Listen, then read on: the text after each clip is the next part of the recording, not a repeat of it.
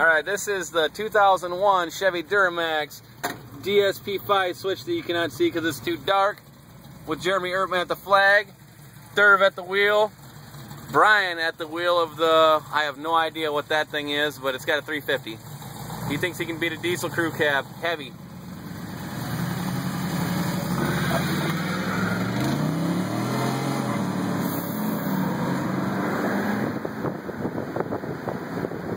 Oh shit.